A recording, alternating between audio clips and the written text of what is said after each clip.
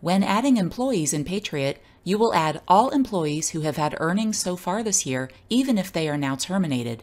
You will need to gather their personal information, pay information, tax withholding information, and any deductions or company paid contributions you have added at the company level.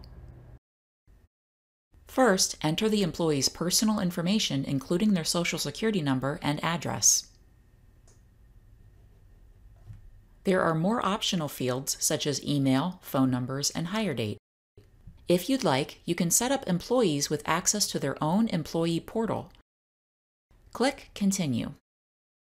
Enter the pay information for this employee, choose their pay frequency, pay type, and pay rate. If needed, you can add more than one pay rate for this employee and add repeating money types if they are paid a set additional dollar amount each pay, such as a cell phone allowance. Click Continue.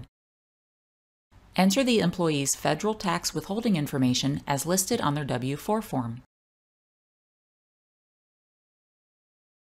If state or local taxes apply, enter their withholding information.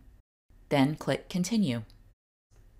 If you have set up deductions or contributions at the company level, you can add them to each employee here. If you have more employees to add, click Yes and repeat the process for each employee. For this example, let's assume I have added a total of three employees. When you are finished adding all employees, click No to continue. You can review the list of all employees you have entered and go back and edit any pay, tax, deduction, or contribution information if they have been added. Otherwise, click Continue to move to the next step of the Payroll Wizard.